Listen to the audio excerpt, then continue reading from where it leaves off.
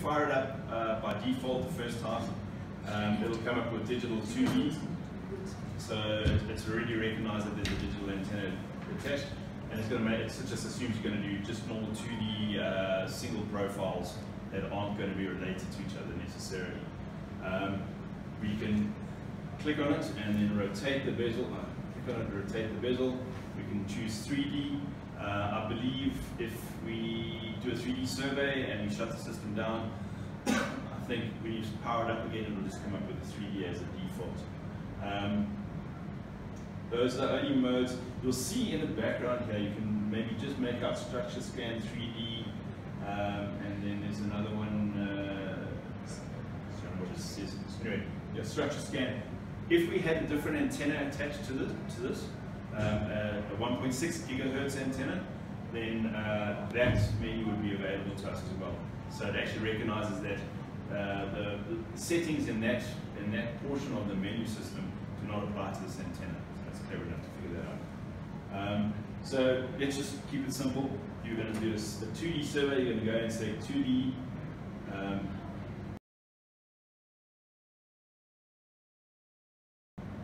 you go down here. We're going to start with a new project because it's the first thing. So we can go in and we can type in um, uh, what project. So I'm lazy, I just let it do it by default. If we do project one, next next project will be project two, which you can actually go and change it uh, by just selecting. So you just press the, the rotating knob down, and you can just go through the the um, menu, select it, move on to the next one, same thing. I'm just going to leave it project one. Uh, um, once we're happy, um, go down to apply. There we go.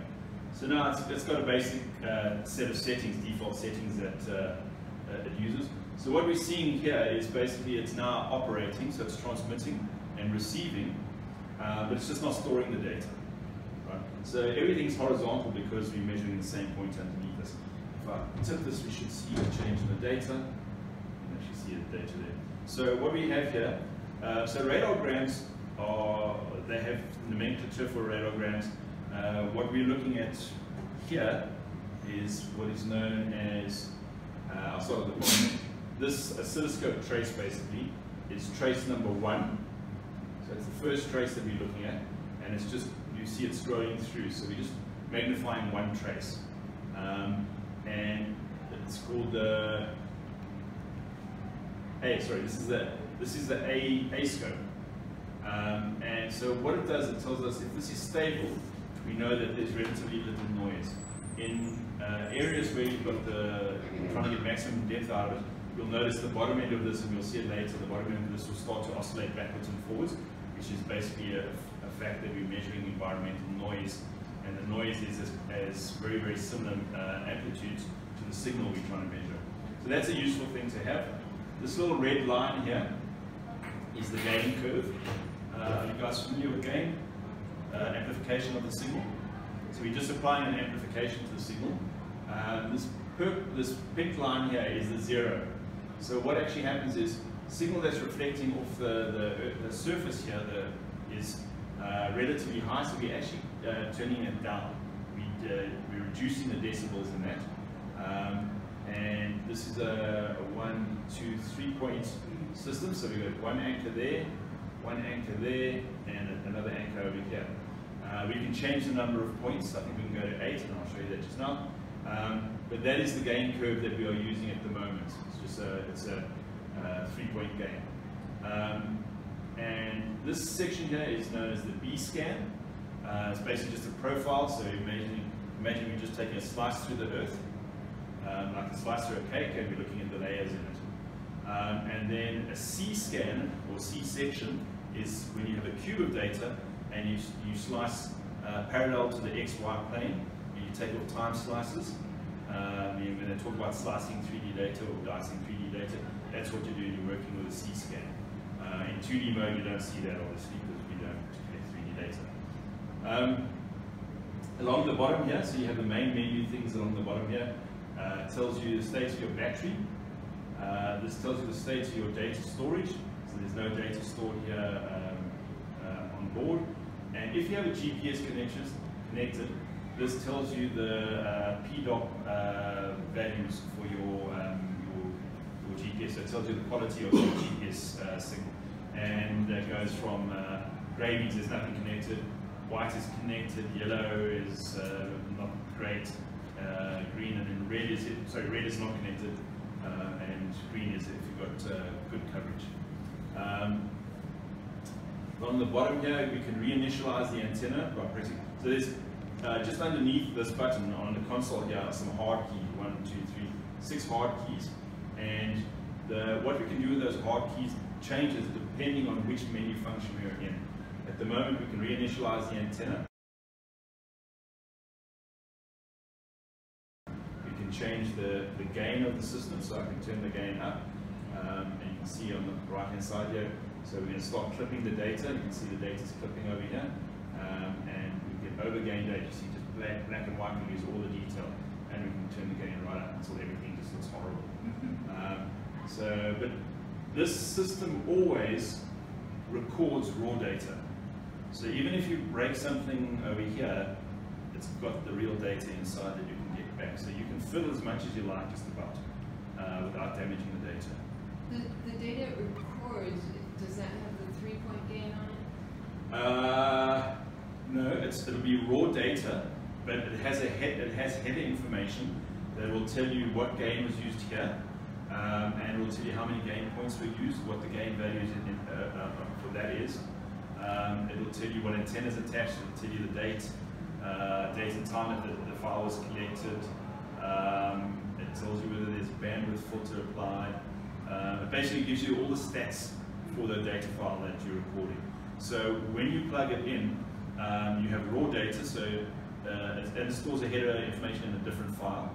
Um, so this information is, this information here, the raw data is uh, stored in a DZT file. So when you download the data, you'll see uh, two or three different uh, file sets, depending on what data you collect.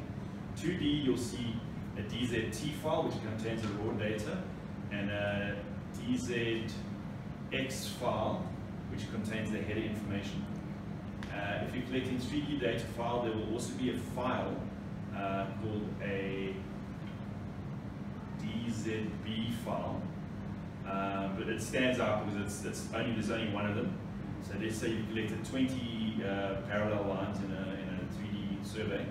Um, there'll be 20 DZT files, 20 DZX files, and one DZB file. And the DZB file tells the software in which order to arrange the other 20 files, uh, because there's different ways you collect the data. Um,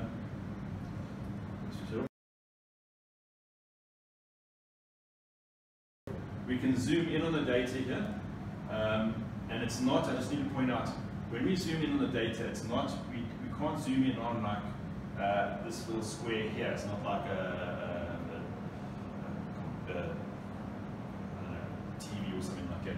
What we're doing is we're actually just stretching the data in the X, Y here. So here um, we have, let's say, uh, I'm guessing probably uh, 600 traces along here. If I turn that up to two, um, we actually, it doesn't make any concept. You can actually see now that we're, we're actually stretching the data and you can compress it, it goes both ways. So, right. so you can actually zoom in or zoom out depending on what you're doing. Um, when, when you, uh, you lifted it up, like when you did the, Mhm. what was it recording like the space that you made? Yeah, it was just recording, so there's just a longer travel time for the, the signal to hit the ground coming out of the antenna. So while while it's sitting like this, the travel time to hit, hit so that's that there is the surface of the carpet basically, or the, the concrete. And if I do this, I'm just moving the antenna further away, and so that surface moves down a little bit. So that's all it was doing. So I mean, uh, that's like fake data, but that's what it was doing. Um,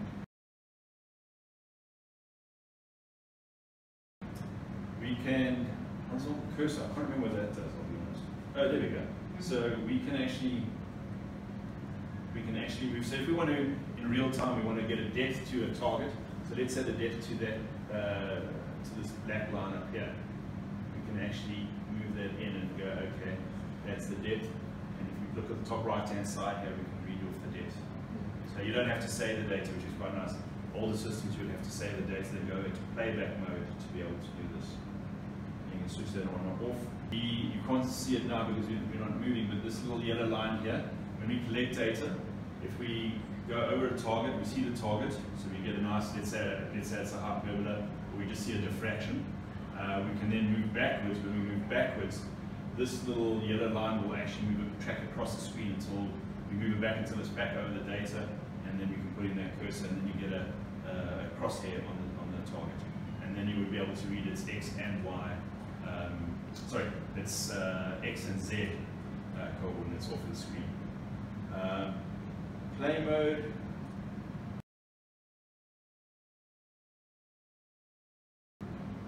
Uh, play mode, I think, is just basically playing back the data that you've already collected um, and file info. So that's the information that's contained in the header. So it'll tell you, okay, the transmit rate for the. Oh, that's interesting. So when these antennas were first developed, they transmitted at 800 kilohertz. So we basically sampling it at 1000 kilohertz, even though we're not storing all that data, which is why we get such good quality data with this antenna because you can stack and get rid of the random noise. So our old analog antennas were at 100 kilohertz. It's 10 times the speed. So, um, so this tells us how many samples per scan. So if we go back to here, this trace is made up of, of discrete samples. Um, so this trace here is actually represented by 512 samples, and we can tell that from here. We can change that to 1024, 2048, 4000 and something, and then you need, uh, it'll, won't go more than that for this antenna, I don't think. So you only, only if you're doing thing really, really deep stuff, do you need more than about 1024 samples. Otherwise you're just wasting storage space, you're not getting any additional information out of the data. Um, scan rate, uh, this is saving 100 a second at the moment. Um, we're using a dielectric of 8, that's just a basic dielectric. tells us the antennas are 350. Um, time range, so what happens is the antenna sends out a, a signal and it has to listen for a certain amount of time for the, for the signal to come back. So that is related to, the, we've told it we want to, uh, it doesn't say that information. We've told it we want to scan to three and a half, so this will be four meters. So this is set to, to scan to four meters now. So that correlates with the dielectric of eight. That correlates to a listening time, two-way travel time of 80 nanoseconds. Right? So as we set the thing up to go deeper, um, you'll see that'll change to maybe 100 or 105, 120. Um, and so that's just basically how long does the system listen before it, it cycles to the next one, listens for the next returning wave. Um, position offset is the offset between, it takes into account this little, the distance between, as the signal uh, is sent out and the, the first peak hitting the first uh, ground basically. So it's, it's the, that accounts for the gap between the bottom of the antenna and the ground. Uh, the antenna capsule, so we've got two capsules. We've got this big capsule to keep everything clean, and which is now a finger off the ground. Then we've got an antenna capsule inside, and inside, built into that antenna uh, capsule, are the two antennas themselves. The little, they look like little uh, bow ties, and those will be maybe eight centimeters or five centimeters off the bottom of this antenna. And so that that value there compensates for, for this. So we set it up, if you set it up automatically, you can, you can adjust it yourself if you want to. But if you set it up automatically, it just does a, a little statistical thing and uses a percentage and it, it looks for that first peak and then it just backs itself up a fraction so that you can see that you're not losing that first peak. Otherwise you don't know, you might be focused, you might actually have done it wrong and you might be doing that peak there or that peak there and you're losing all this data So, um, no GPS. Um, so at the moment, uh, as I said, the survey wheel, the right-hand rear wheel, is attached to a, a distance encoder. It will only collect uh, information when we move forward. Um, and it's going to um, it's going to uh, collect 50 scans or 50 traces per meter. So we're going to get a data point every two centimeters. We can change that. Uh, I believe this machine can go to one centimeter or four centimeters. Um, in general, uh, high, high at one or, or, one or two centimeters per scan is, is a reasonable uh, thing. If, you do, if you're looking for uh, long, flat, horizontal stuff and you want to keep uh, information on the screen, because remember, the screen can only display X amount of traces at a time. So if you went to uh, uh, um, if you went to 25, so you're only doing a, a scan every four centimeters, you would see more of the ground on the screen at any given time. So sometimes if you're looking for, for bigger things, it's better. But you'll, you'll figure that out when you, when you work with the system. Sorry, question. Um, and then this is so this tells you what uh, the gain points are. So remember I said three points, so we uh, that should actually be negative. I don't know why it says 13. Normally I'd expect that to be negative because you're actually turning this first gain point down. You can see there's it's a negative gain. You've actually de-gained it. Um, so 13 decibels, 42 decibels, 53 decibels. And as we, we can put some more in, and you'll see if we had a, a five point gain or eight point gain, you'll see five, five numbers or whatever. Um, so here we've got an infinite impulse response low pass filter. So with digital, so with digital filters, use an IIR uh, filter. Uh, with analog filters, you use a finite infinite, finite infinite response filter and it's to stop the ringing. When you filter data, you get that, that you get ringing at the, at the beginning of the filter cutoff, um, and it's a different way of stopping it for digital and analog. It's probably more complicated than that, but that's as much as I know. So, so we use, but anyway, it, it puts this in for you. So with an analog, if you had an analog antenna attached to this, would then be able to choose between whether you wanted an IIR filter or an FIR filter. Um, and you would use an FIR filter. Although having said that, I've seen them set up wrong and I can't see the difference in the data myself. So maybe it's just a bit noisier. So, So, so if we made that high pass filter much lower, say thirty, you would start to see the fifty-five or, or sixty hertz noise in the electric. That's a good point. I have just been asked that question about the data. What? Um, I mean, it's kind of. Yeah, because I mean, you, you're, you're sampling. Because your sampling, is so high. Yeah, we're yeah. sampling fast enough to actually be able to pull the 50 hertz data out. Mm. Um,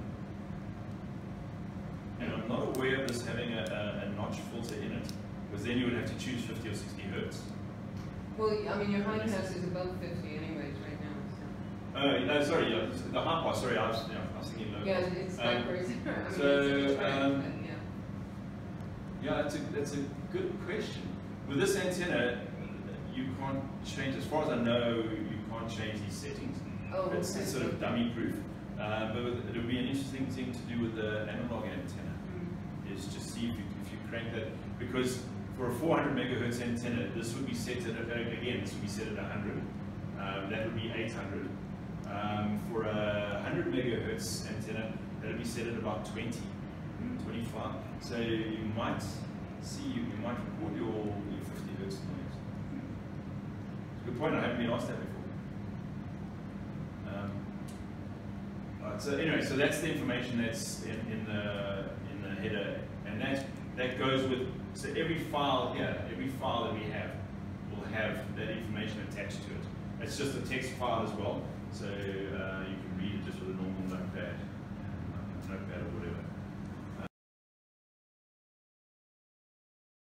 Right, so now setting up the system. So the first time you use it or you go into the field under certain circumstances, we're going to go to the radar settings here, enter. So um, you've got different types of modes that you can use with this antenna. We can use distance mode and time mode. And I see point mode appears to be grayed out. I don't know if you can use it with this antenna. So distance mode is exactly as we have it now. It's connected up to a distance encoder and will only start connecting data as you move. Um, time mode, as soon as you press uh, start, it'll start collecting data. It doesn't care whether you're moving or not.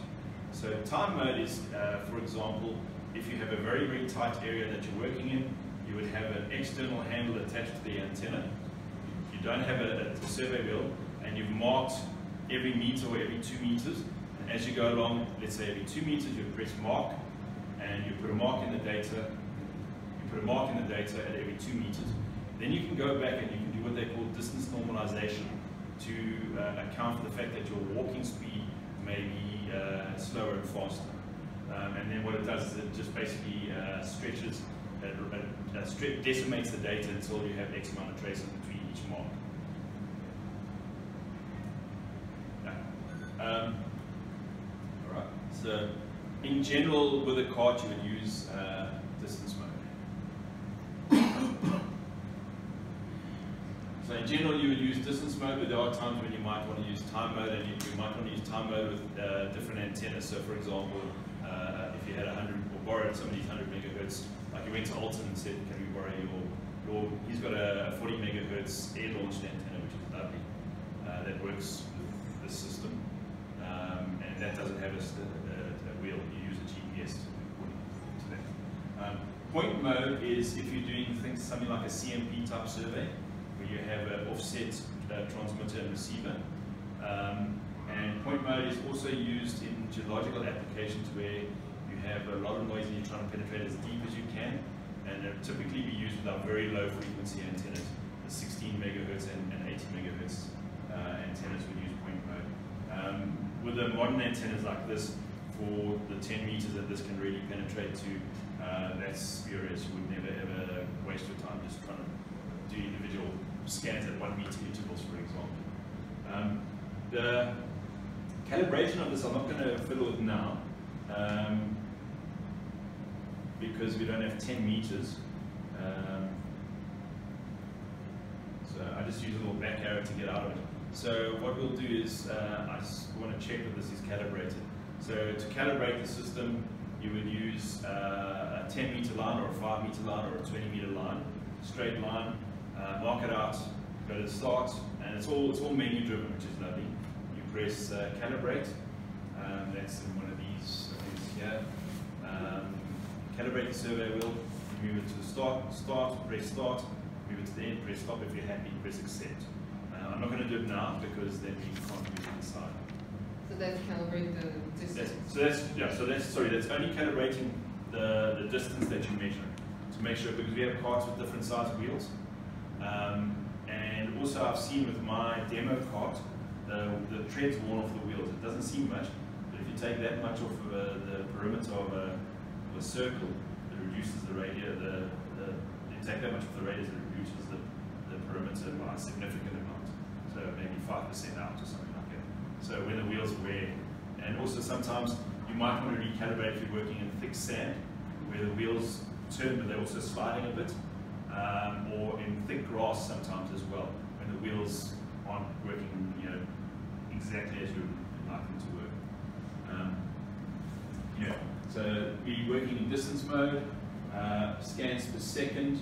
Um, I don't know what options we have. We can, you know, this is basically just how many scans we are saving per second, um, but we're not actually writing those to the screen. Um, samples per scan. So here you could actually go up to uh, 2048 for antenna, no, 1024. So this actually realizes that 2048 would be a waste on a 10 meter data set. So I would leave it at 1024. You've got enough data storage uh, to have that. Um, your eye won't see tell the difference here really. Uh, scans per meter, we have 50. I think I think we go up to let's see. Gosh, I didn't realize we could get this kind of resolution. But you can see what's happening up here. Is uh, we're getting more and more scans per given meter on the screen. And eventually, what happens is you're looking at such a narrow window of the Earth, you can't actually understand what you see. Um, normally, for for most things, 50 scans a meter works quite well. Um, certainly, for what we'll do when we go try to scan and find something. 50 works well. But there, there's nothing wrong with, I would, I would have too many scans rather than too few, because otherwise you start undersampling your data. Um, and so if you have if you're looking for hypothetically a pipe this big and you're only uh, sampling every once every half meter, chances of you seeing that slim. Um, meters per mark, so that's just really the scale on the top here. You can change the scale on the top here. Dielectric. Um, so here's a, a nice little tool. So remember I said you have these tables that you can just look up the dielectric. So when you first go out, you're just taking a guess. So if we went out onto Water lawns here, I would say probably we've had some rain, they've been sprinkling maybe. Um, it would probably be a little bit uh, more, more uh, moist, so I would use a higher dielectric. But let's say I don't know what dielectric to use. So we can go down to the table here, and we can select from the table. And we can go, so we can start with dry or snow and ice, which we don't have really. Uh, dry sand, so this is this is sort of like uh, Kalahari soils, beach sand away from the uh, from the way above the high, high tide mark. Um, high, uh, silica rich soils basically, stuff that doesn't have much clay. Um, pavement is what the Americans call tar roads. Sorry, yes. Um, so pavement is if you would be work, were working on a tar road. Um, that is uh, uh, of six. Um, rock, of eight. Uh, bas the basalts, is it basalts in Bushveld, is it? They're about 11 to 12. Uh, so it depends, there you've got to know a little bit about what, what you're working on.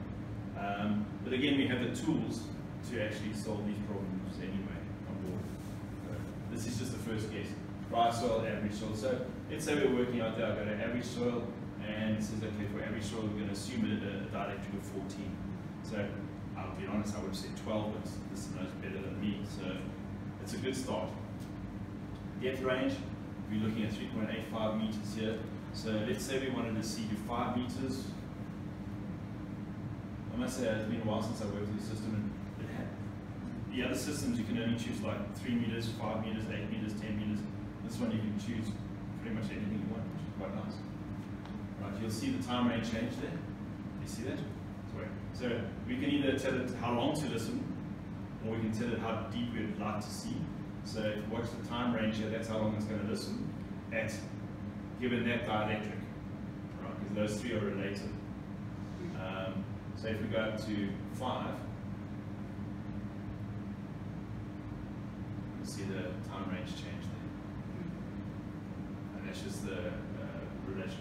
Okay, LineTrac is, an, is an accessory which you don't have. It's just to find live cables.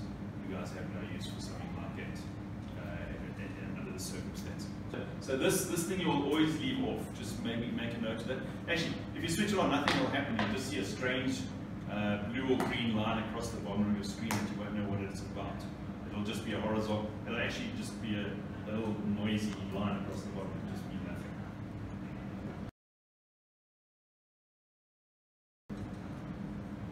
Okay, processing the data. So these are the filters that uh, we were asked about earlier on that are in the, uh, allow you in the data. So here gain mode's auto. So um, it just I just tell it how many points I want and it sets the gain. So I can go and edit it and I can make it a oh, sorry. Um, so now I'm editing, so I can go and add points. Uh, and how do I add points? Uh, yeah. You should add point at the bottom. Yeah. Add point, there we go. Oh, thank you. You realize it's on the screen. So I can go and add a point, so now it's a four point gain, let's say a five point gain. Um, and then I can go down and I can actually increase, so if I press on this now, I can increase the gain just at that point. Um, so now I've basically put it into manual mode. Um, if I really screwed everything up. So what you don't want to do is you don't want to clip the data, you don't want to go over like that. Because then all you see is black and white and you lose all your detail. So you want to get the gain you want, you want pretty much everything to be at least just touching those two lines there. Um, so yeah, maybe push it up a little bit, get those a little bit higher. And you can fiddle with as much as you like. You're not breaking the data, so it doesn't matter what you do. And of course, if you um, get it wrong, you can press reset gain over here. Um, you can uh, erase points. I'm just going to get out of here, save and exit. Um, so yeah, so you can go in and, and, you can actually change change that. If you go to gain mode uh, manual, whatever settings I leave on there, it doesn't matter where I am, it'll always use those settings.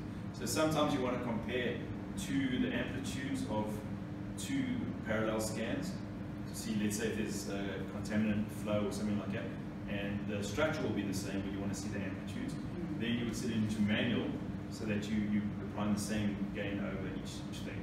If you leave it on auto, even if I've got five points here, uh, I've got five points, it'll always stay on five points, but it'll change the values of, of the of the gain at each of those points, depending on. So when I when I start this up, it initializes the antenna, and it, it, it knows the strength of the signal it's sending out, and it uh, checks how well it's coupled with the earth, and, uh, and then it adjusts the gain to suit that situation when you start it up. And every time you start a new scan, I start a scan here and I go and start a scan there, it'll re reinitialize itself as well. So it'll adjust the gains. Uh, by putting that into manual, you just get rid of that, that, that um, option. Can I ask on the, on the trace going down, there seems to be gaps in it, is that just a resolution issue? Uh, those there, yeah, that's just a resolution issue, yeah. Thanks. So we've got more, we've got more points on, on the screen than the, the resolution on the screen. Um, if you put that onto a, onto a big screen, you wouldn't see those. Um, sorry? Where do you, your, your, your gain points, would you put them at points of interest or? Yeah, so you can't you can't uh, have um, uh, randomly spaced gain points. So you couldn't put a gain point. Let's say you couldn't put a gain point there, a gain point there, and then nothing and another gain point there. You have X amount of gain points. I think you've got eight, um, and so it just divides up into eight sectors. So for example, if I was going to edit this, so you can see at the bottom here, there's quite a lot of gain applied to the bottom here, fair amount there, but we're losing information over here. You can see it's very hard to see anything there. So what I would do is then I, I would might go in and say, okay, look, add another point and another point and another point. So now I've got this little section here that I can fiddle with, right? And then I can go, uh, go up to that point and then I can gain that point. So now all I'm doing is changing the area around here. I'm not, I'm not changing this at all. So, and then you, you can actually tune it like that. And you can actually see now if I push it up a little bit and then uh, go up one and, increase that a bit, you can see you're starting to get more information out there. So you can tune it like that. Uh, but you can't have these, uh, uh, they're- always going to be evenly spaced. Uh, okay, stacking uh, is basically how many traces. So we take uh, X amount of traces like this, and we add them together, and hopefully random noise will cancel itself, and any real uh, real things like let's say that's a, a real uh, target, that will just be amplified. So you can you can set a stacking of that's just adding traces together. You've, have you guys done stacking? Signal processing.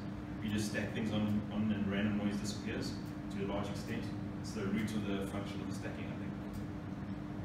It's square root of the number of stacks. But um, so there's a there's a bounding limit to how much you actually get out of it before you just slow the computer down so much. In the past, this was a big deal because computers were slow. These days, you can you can stick pretty much whatever in there. So I would normally run a, a stacking of about uh, nine, and that gives you nice. So you'll get nice clean data. You'll see um, deeper stuff. This will uh, be much more stable. Um, but again, that you're not breaking the data if you choose another number. Um, you just it's just your representation on the screen will look a bit differently. It'll look a bit different. Question. So, Oh, on, on, on the king part, how is uh, fold coverage from stacking important in uh, data processing? With, with radar, it doesn't apply because you've got a coincident transmitter and receiver. Am I, am I did I understand the question? Is the full, full coverage, how many? Yeah, how is it important in radar processing? Okay, so if, if I understand the question, uh, from a seismic point of view, you would have one receiver, let's say in 20, uh, sorry, one source and 24 receivers, and depending on your bin size, you would have X amounts of reflections coming out of one bin, and then you'd treat all the information in that one bin, uh, you'd stack that information in that bin, and produce one trace. Is that right? Or in, in radar we don't have In radar, you don't have that because we have the they, of they're essentially on top of each other, yeah. Yeah. So you don't have that, you don't have that, but you also you have an, uh, a very very high redundancy of data. So we are sampling a thousand times a second, and we are filtering that, and then we are still have the ability to to do uh, on-screen stacking as well. So, but yeah, that's a good question. But it's, it's not the it's not the same because you have a uh, Coincidence you have this, receiver. the coincident the transmitter receiver and you know. Yeah, this one here, this is an important filter, and it's one of those dangerous filters that if it's applied incorrectly, you can really screw up what you see. So you can see if I have, so what this, what this does, I'm going to switch it off quickly, what this does is this looks for horizontal uh, events. And it says, okay, you tell me how many traces along I must look. And if it's flat, for, if I make this a, a number like 100, if this event occurs in the same place over 100 traces, I'm going to take this event out. Then I move one trace to the right, and I go, the next 100 traces, is it flat? If it's flat, I take it out. And so you take horizontal noise out. So environmental noise uh, tends to be, um, let's say for example, you're working near a, a railway line, and you have uh, that DC current draw when a, train comes past. You get this big banding in your data. Now that may obscure the target. So how do you get rid of that? You get rid of that with a filter like this. So that's what it does. It just looks for linear stuff and it gets it out of your data. But it's a very dangerous filter because it's one of those filters that you think if you use a small number, it's, it's a softer filter. The smaller the number that you use makes it a really, really hard filter. So if I use two here, you'll see there's nothing in the data. It's gone. through. And basically, because two points will always create a straight line. And so it sees a straight line and goes, okay, I'm taking it out. Uh, and as I dial, so this should always be like over 500. So that's the number of points it's looking Yeah. for a straight Well, line. you see the problem now is is that we're not moving. So if, if we are moving, you actually will see the data. Um, so this should be always very, very high. But having said that, I would almost always switch this off unless you have a reason to use it. Unless you see in your data, and it typically will happen, it'll typically happen, um, sorry.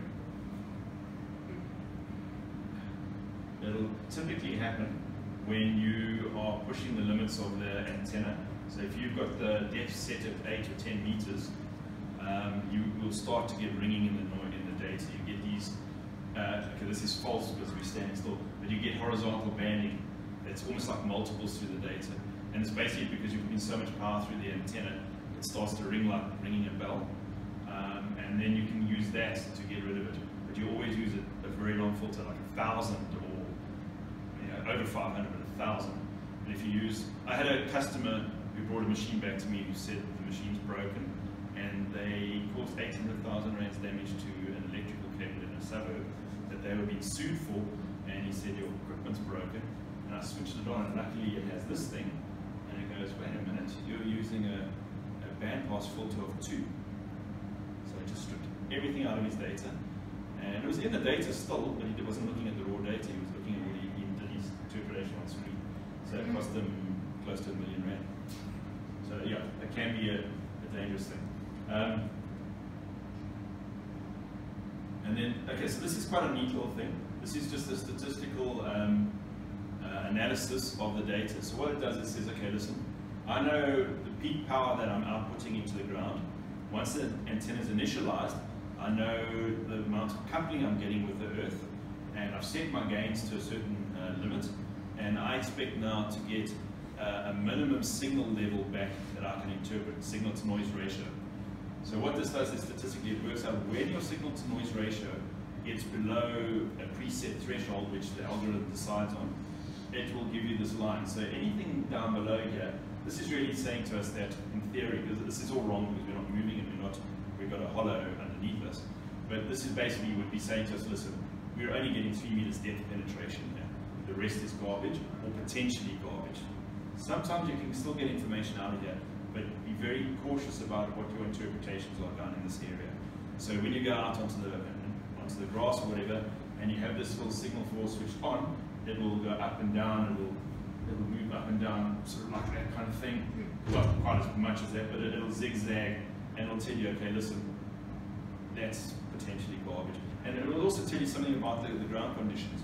If, if this sits, you've got to set it 10 meters and this is sitting up at one meter, you know you've got very conductive soils because you're losing all the signal to noise ratio below is low. So it's, it's a good indicator of, of the quality of, of the data, how deep you can expect to penetrate. Because you never really know. You, know. you can tell this machine to listen for probably 200 nanoseconds and it'll try. It might be a measuring God. So that, that I like to leave on. It's, a, it's a pretty cool. And, and they tell you how they calculate that, or? Uh, no, because it's proprietary. um, no, they won't tell us the algorithm, but I might, I could, if you want to, I can ask uh, and see if I can get a bit more information if you're interested. But yeah, it's uh, this algorithm and the algorithm that they use for the hyperstacking are proprietary. So I, I know sort of how the hyperstacking works, but they won't tell me too many details. So.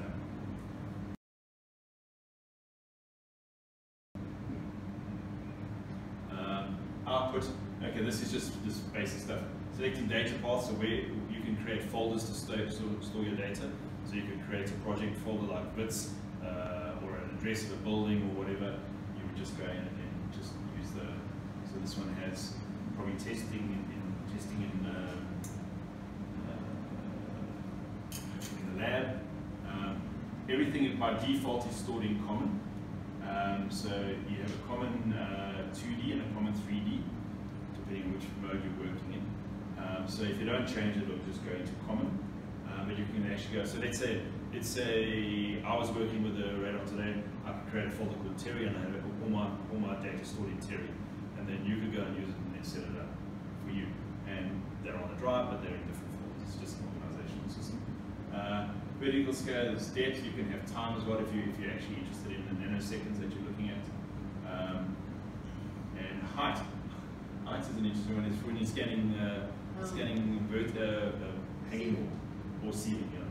So the, what it actually does is, I think it does, it should flip this over. You know. So there, there's the zero, except you have to switch the scale because it doesn't know. So you have zero here and five meters the other way. Anyway. Vertical units, meters or centimeters. Uh, it's up to you. Horizontal units, the same thing. Uh, so, okay, here you've got a lot of choices. Um, oh, sorry, this is scale color, white on black. Uh, depending where you're working, sometimes it's better to have black on white. Um, that just changes the scale color. If you're printing out things like if you're using that in a report, you'd prefer that to that. Um, these are just different things. Uh,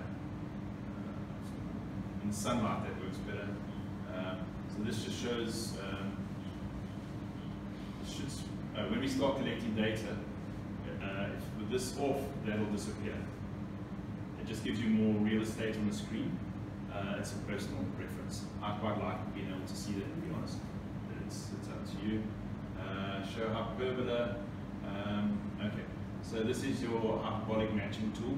So you would go and say, okay, I want to um, match it up.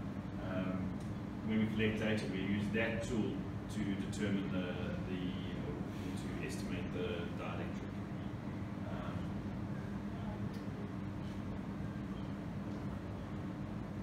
color map.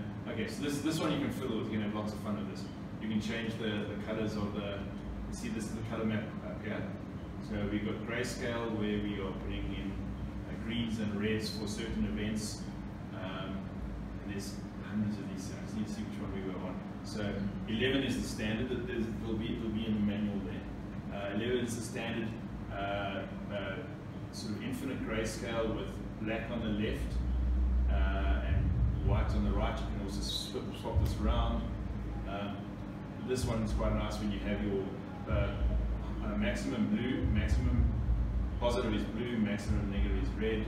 Sometimes in sunlight these help you to actually see the maximum. Uh, but this you can have lots of fun with these things and uh, some of them are some of them are really bad. They're, they're not great for data because they just they they get rid of finer detail. Uh, your eye grayscale is, is pretty good because your eye is your rods and cones in your eyes. So your eyes are are very sensitive, seeing subtle differences in grayscales. Um, so you can pick up detail in, in the data in gray. But sometimes in sunlight, it doesn't work. And you've also got the you've got the traditional seismic one wherever it is. I think it's like 27. I didn't realize this one had there we go. I didn't realize this one had so many different options. The other consoles only have like four options, uh, but this is one of them. You know, have fun with that. Um, color stretch. Okay, this is this is again you can fiddle with this if you want. So what happens is um, we have uh, a number of bins here that each of those colors or amplitudes are, are represent. Each color or each shade represents an amplitude. You can shift that whole binning system to the right or binning system to the left just by applying a, a positive or negative color stretch to it. You can do really weird things to your data. Again, you're not destroying the data, you're just destroying the way you're looking at it. Um, and color slide just basically moves the, the center point of your color scale to the right or to the left. So it doesn't change the bin sizes. Um, but yeah, have fun with those. Those are the things that you can play with for hours if you feel inclined to.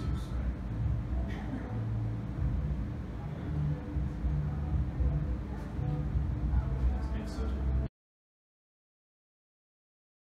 And then system, so um, your backlight and brightness. To save battery, you can turn that down. So if you're working in indoors or somewhere like that, you can turn that down and save battery. Uh, volume is just your, your response on here, your beep, whatever. Um, save setup. So if you if you have a personal setup that you really like, or you want time, sorry. Um, you just tell me.